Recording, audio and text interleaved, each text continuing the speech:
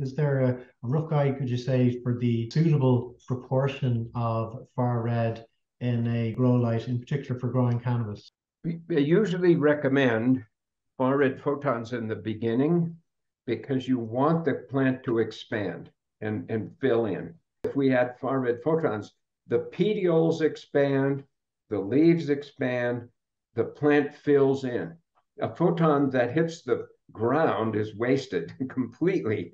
and no matter how efficient it was to produce, it's wasted. So we want to capture those photons as quickly as possible.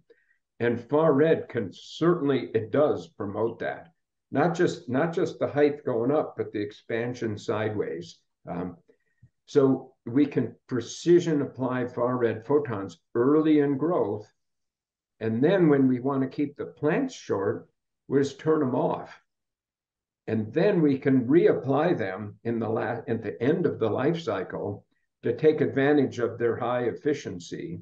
Um, so the timing is important of when we put in far red photons. I, I wouldn't recommend just a blanket um, distribution of photons we want to use them early in the life cycle and late in the life cycle.